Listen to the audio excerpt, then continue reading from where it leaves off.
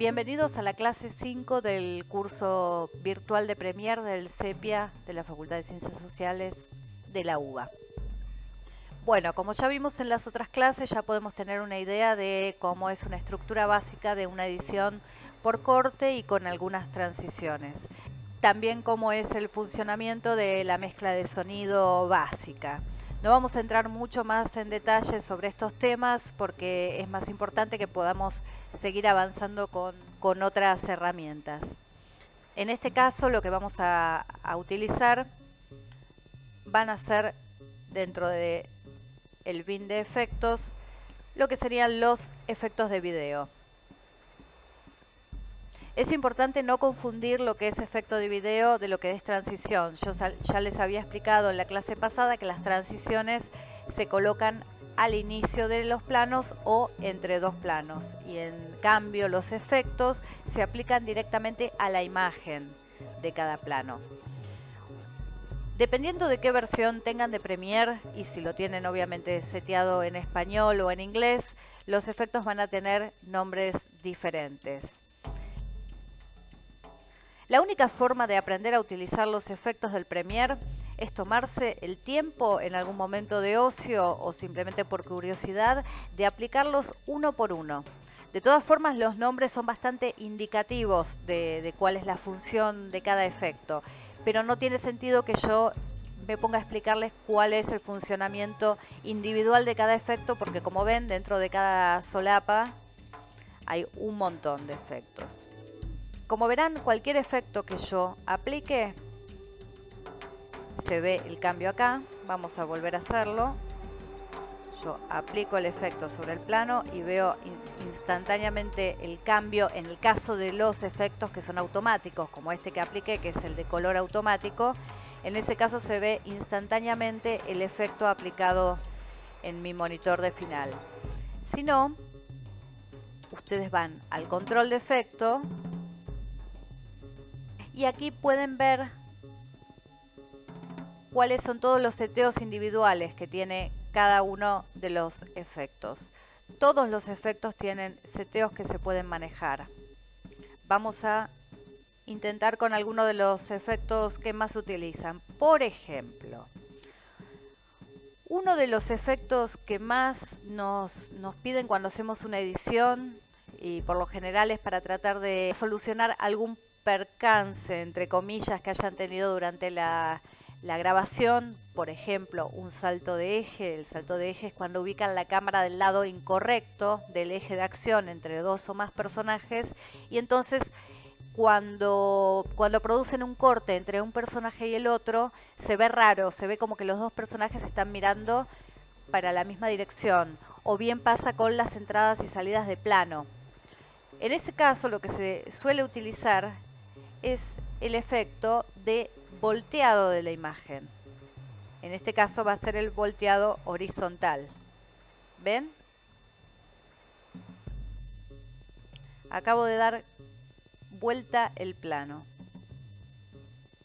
Eso está dentro de la carpeta de transformación, transformar. En este caso es, una, mm, es un efecto que no tiene grandes grandes posibilidades de seteos. Pero por ejemplo, si yo utilizara algún tipo de distorsión en la imagen, por ejemplo una distorsión de lente, aquí ya tengo un montón de posibilidades de modificación de los seteos que quiero hacer. ¿Ven?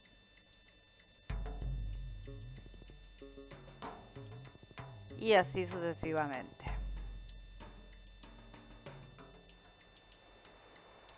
Hermoso, ¿no? Una maravilla. Si nosotros queremos volver atrás todos los seteos de un efecto, podemos utilizar esta herramienta. Que lo que hace es desactivar restablecer sería la palabra. En el caso del volteo horizontal, como no tiene aplicada ningún tipo de, parámetro específico, si nosotros queremos desactivar el, efecto, directamente desde ahí vuelve a la normalidad. Muchas veces necesitamos desactivar el efecto para poder ver el, eh, resultado con y sin el efecto. Pasa mucho cuando hacen algún tipo de corrección de color. Podemos hacer eso con todos los efectos y luego volver a activarlos. Otros de los efectos de videos más utilizados son las correcciones de color. Las correcciones de color son muy útiles y, dentro de las correcciones de color el brillo y el contraste son los efectos más prácticos para solucionar algunos inconvenientes de la grabación de la imagen. Brillo, como su nombre lo indica, sube el brillo, contraste levanta los tonos oscuros o los neutraliza.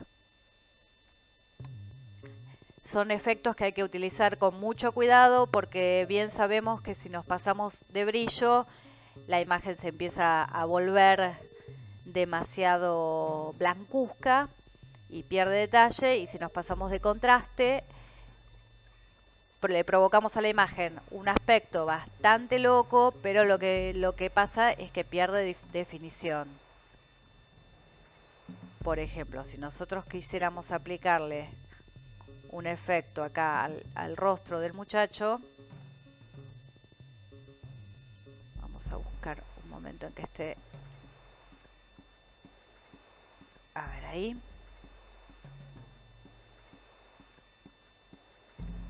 Por lo general, ven que ahí mejora un poco la luminosidad. Por lo general, eh, el brillo y el contraste están juntos porque son dos efectos que conviene utilizarlos juntos, como para poder compensar lo que se pierde con uno en el otro. Cuando la imagen está muy oscura, lo que pasa es que si ustedes le levantan el brillo, se, pierde eh, mucho el detalle y se nota que el plano está toqueteado. También lo que se puede hacer es levantar solamente una zona. Esta es una herramienta bastante interesante. ¿Ven? Solamente me conserva el brillo y el contraste de una zona. Esto eh, conviene utilizarlo cuando tienen eh, algo que esté quieto, por supuesto, porque si tuviesen un, un personaje en movimiento tendrían que ir colocando lo que se llama keyframes, que son pequeños clavitos para ir siguiendo el movimiento del personaje. Por ejemplo, ven acá tienen el trazado de máscara. Entonces, por ejemplo,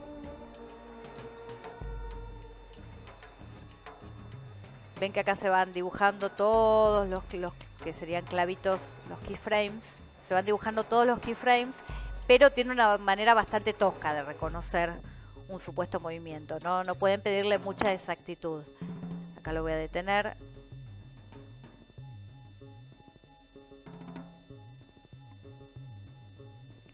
Pero ven lo que sucede. Vamos a. Ven, sucede que se nota dónde se hizo la máscara. Entonces, a menos que sea que ustedes tienen que iluminar un jarrón, algo que está quieto,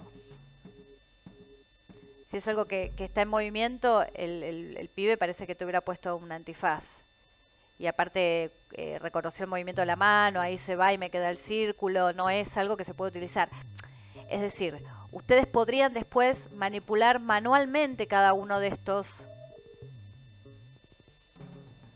de estos keyframes para acomodarlos. Ustedes cliquean el keyframe, cliquean acá y pueden cliquean acá y pueden acomodar manualmente la máscara. Pero siempre se va a notar. No es un programa que esté diseñado para hacer este tipo de retoques tan finos.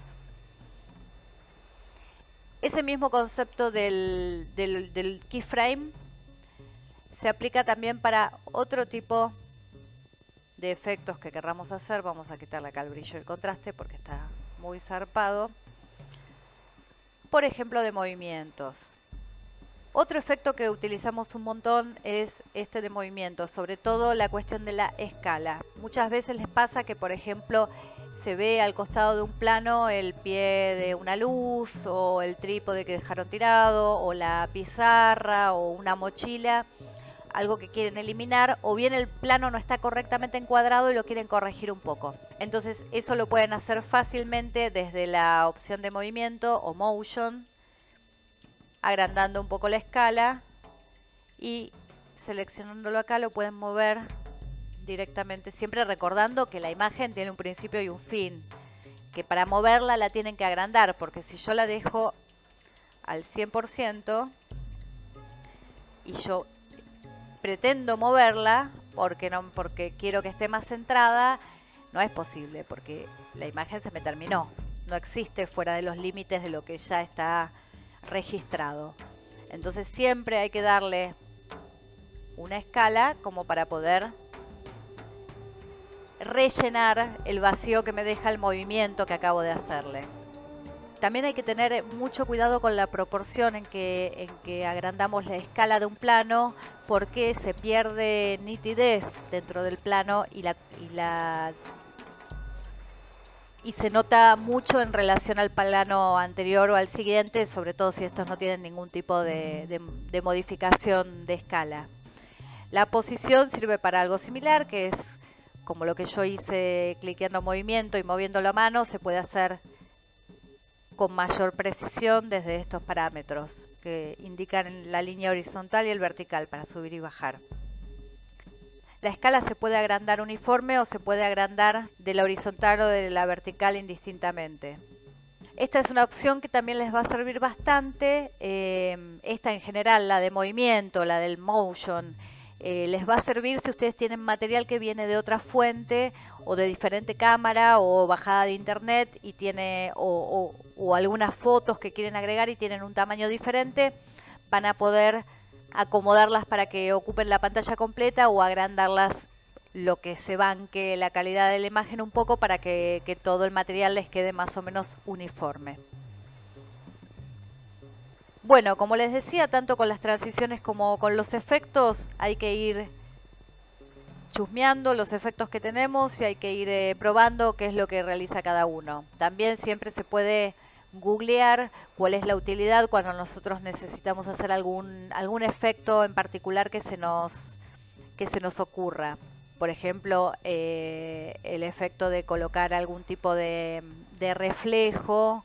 Yo este es un efecto que lo utilicé para por ejemplo, para un corto donde necesitábamos que una chica tirase como una especie de bola de luz de las manos porque era como una bruja, este, ese efecto se puede se puede setear y ven, se le setea el movimiento, la dirección, el brillo. Se pueden ir colocando keyframes para que el brillo sea de esa manera y más adelante el brillo sea más hasta que termine absorbiéndolo todo, por ejemplo, ven. Es más, podemos colocar otro keyframe menor, como para que arranque más sutilmente. Y así ven cómo se comportan los, los keyframes a medida que me voy acercando. Ahí hasta estallar en blanco, yo esto lo puedo modificar. Este del trabajo de los keyframes también tendría que ser eh, una clase aparte porque porque si agregan muchos keyframes el comportamiento después se puede llegar a complicar el comportamiento de los efectos y tienen que, estar seguros de que al mover un keyframe no generaron otro que les haga algún tipo de, de efecto diferente que se, no se les superpongan los keyframes. Es algo un poco más complicado pero bueno no, no es para, para este momento del curso pero como les decía, lo que me parece más importante es que ustedes vayan mirando para qué sirven los efectos y los seteos de los efectos, pero fundamentalmente van a aprender a utilizar los efectos cuando los necesiten. Cuando necesiten hacer algo en particular, ahí es cuando va a aparecer el efecto. Lo mismo con el color, que yo en las primeras clases les explicaba el, de, que tenemos este tipo de pantallas para efectos, como ven, que nos cambia toda la, interfase tenemos este, esta pantalla que es exclusivamente para corregir color del plano, ¿no? Entonces, desde aquí podemos... Esperen que tengo ese efecto muy molesto. Vamos a quitárselo. Y ahí volvemos. Y tenemos estos efectos de color Lumetri, que estos eh, creo que vienen agregados en las últimas versiones de Premiere. Si tienen una versión más vieja es muy probable que no los tengan pero que hacen como más sencillo el tema de corregir la tonalidad de los planos. Pero como todo, es algo que tendríamos que específicamente ir viendo efecto por efecto. Como ven, son cientos de, seteos diferentes entre los cuales pueden elegir y eso es, es mucho más de lo que podemos abarcar en esta, en esta clase. Algo último que les voy a explicar en esta clase es el tema de, vamos a volver a la pantalla original, la creación de títulos. Esta es la que me queda más cómoda. Eh, la creación de títulos para colocar al principio, en el medio, sobre la imagen. Entonces, ¿cómo generar títulos sencillos? Desde el proyecto, nuevo elemento, título. Cuando aparece la, el primer cuadro de título nuevo, ya da por sentado cuáles son los seteos del proyecto, así que no hace falta modificar ni el ancho, ni el alto, ni la cantidad de frames por segundo, ni, los píxeles, porque esos son los que vienen de movida. Nosotros podemos colocarle desde aquí mismo el nombre que querramos, eh, por ejemplo, podemos poner títulos de inicio y se nos va a abrir la tituladora. Bueno, esta es la tituladora. Simplemente para empezar a utilizar la tituladora, sitúan el cursor sobre la pantalla, eligen la tipografía, esto no, no, hace falta que lo hagan al comienzo, lo que pasa es que yo tengo una lista de tipografías que son las que están instaladas en mi computadora y, la que me aparece por defecto es bastante extraña, así que vamos a buscar alguna más normalita para arrancar. Eh, ustedes van a tener como opciones las tipografías que tengan en la computadora. Por ende, si están buscando alguna tipografía, alguna fuente en especial, la tienen que descargar de internet, eh, instalarla en la computadora y la próxima vez que abran el Premiere, el Premiere automáticamente la va a reconocer dentro de su lista de tipografías. Entonces, por ejemplo, comenzamos taller de expresión 2, cátedra Angeleri, por ejemplo. Y funciona como cualquier procesador de textos.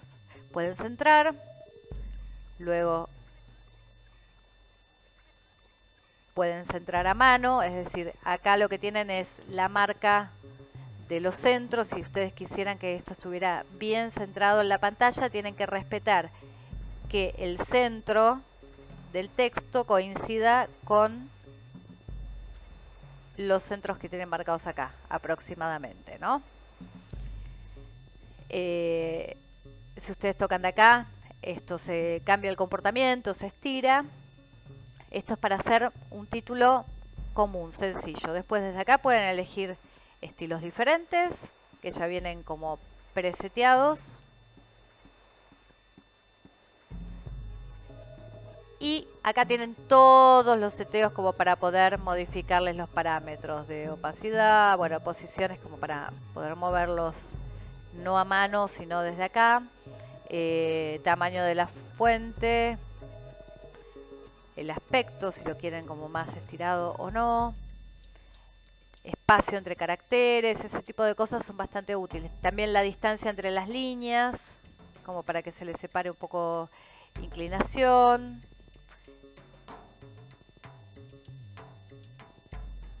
Tipo de relleno, bueno, sólido, el color en que ustedes quieran la letra, si quieren agregarle brillo, textura, algún borde, etcétera, etcétera, etcétera. Desde aquí también se puede hacer, se le puede dar una, un fondo diferente que sea el, que no sea el, negro que por defecto cuando ustedes coloquen en el vacío del Premiere las letras les va a quedar en negro. Ustedes pueden cambiar el foto de color generando, vieron lo que yo hice fue generar un, un rectángulo a mano. Y luego una vez que genere ese fondo lo puedo cambiar de color. Vamos a, irnos un poco de ese rosadito.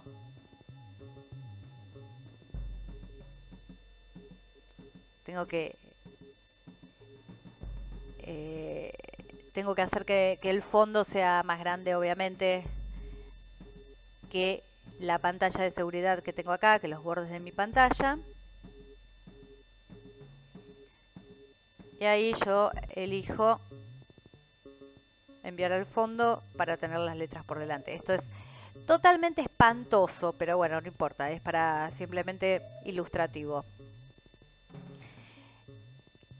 Luego es importante aquí poder ver si queremos que sea una imagen fija, un desplazamiento, que es cuando los títulos corren como en el final de las películas, eso puede ser útil para hacer los títulos finales iniciar y finalizar con pantalla. Entonces lo que ustedes van a tener es que este título se va a comportar de la siguiente manera.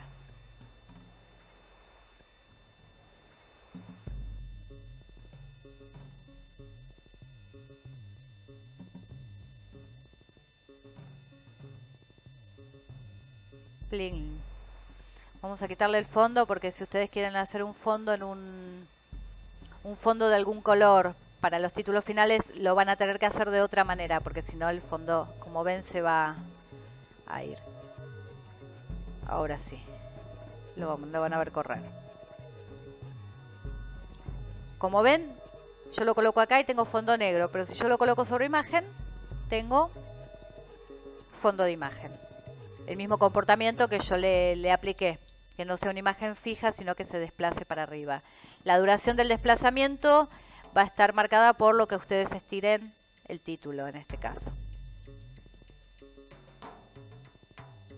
Ahora, si ustedes quieren ponerle un fondo que sea diferente al fondo negro, en el caso de letras que se desplacen, nuevo elemento, color mate, aceptar, y acá generan un fondo del color que quieran, le pueden poner violeta. Lo colocan por debajo de la letra. Lo hacen durar lo mismo que dura el título. Y ahí lo tienen. Entra y sale. También podemos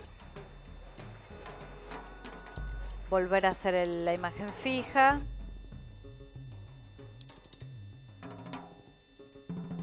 podemos ir a un plano, por ejemplo que nosotros sepamos que va a estar en ese plano, entonces ya lo podemos ubicar en el lugar donde nos gustaría, siempre respetando máximo el margen, el último margen que nos muestra la tituladora, porque todavía es la zona segura que si hay algún recorte de pantalla, lo ven en algún tipo de televisor que recorta de un lado o del otro, no les quede nada fuera de, del campo visual. Entonces ahí lo pueden acomodar. Esta, las letras las pueden girar, les pueden cambiar la ubicación, etcétera, etcétera, etcétera. Son todas cosas que van a ir descubriendo también a medida que, que lo necesiten. Importante. Esto directamente se cierra. Cuando se cierra viene a parar acá como si fuera un plano más. Si quieren hacer otro, abre nuevo título, le pueden poner el nombre acá. O bien, por ejemplo,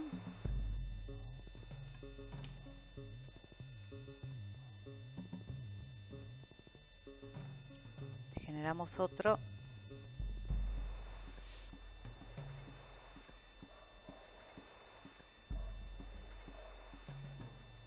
Lo ubicamos, me gustó, yo no le cambié el título, lo cierro, viene a parar acá, le puedo poner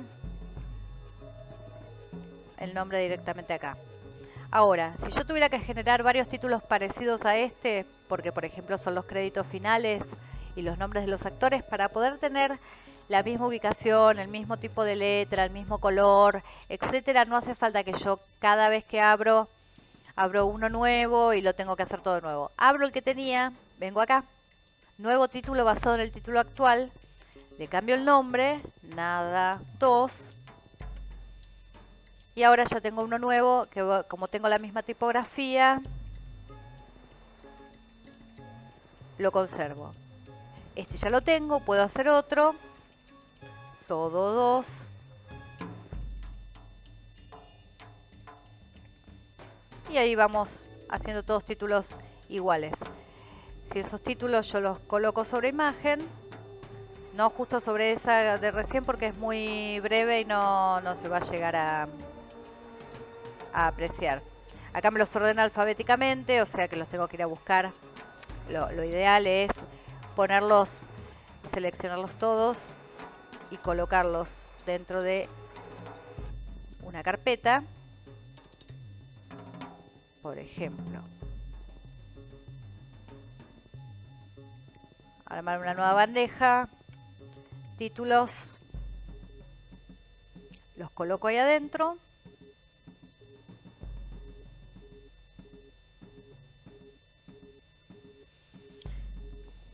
y luego sí los puedo ir aplicando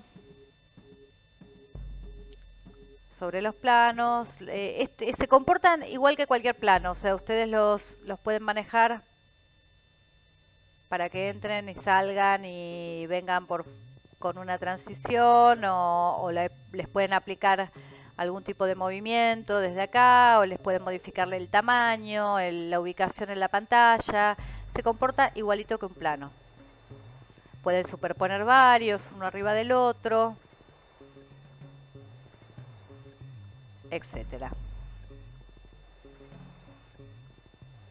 Bueno, eso es básicamente para generar los planos. Y lo último que les voy a enseñar de la tituladora, que a veces puede ser bastante útil cuando quieren hacer algo estético, es a generar las barras de arriba y abajo por ejemplo, ustedes quieren convertir un plano o tienen algún objeto arriba o abajo del plano que les molesta, simplemente generan un rectángulo, lo copian, lo pegan, así se les genera otro rectángulo igual. Pueden usar los márgenes de seguridad como guía Ahora le cambian de color.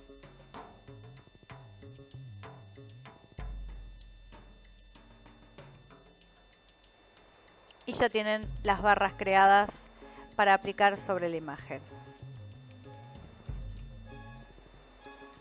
Esto lo aplican sobre imagen. Y todo el corto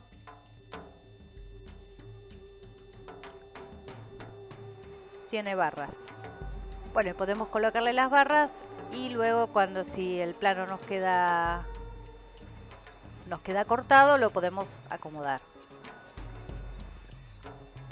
Bueno, es importante que sepan que todos los títulos que se generan en el Premiere no es que les quedan eh, salvados aparte en una carpeta dentro del donde tienen los, planos y los proyectos, sino que simplemente son eh, herramientas nativas del Premiere es decir, no los pueden abrir desde ningún otro proyecto, los tienen dentro del proyecto de Premiere y en ningún otro lado.